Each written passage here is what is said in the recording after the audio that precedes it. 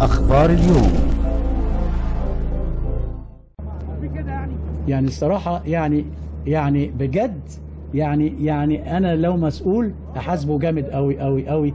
يعني على أساس إن فرقتك محتاجة لك وفاول ومفيش أي حاجة وبالتالي النادي الأهلي خسر جهوده وبالتالي خسر جهوده في المباريات القادمة وبالتالي أزم الأمور أكتر بصفارة كانت تنتهي الأمور خلاص. أهو أنت خلاص خدت فاول صح غلط انتهى الموقف.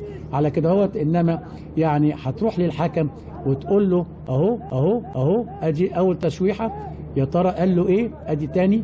وإنذار. على طول 100% قال حاجة.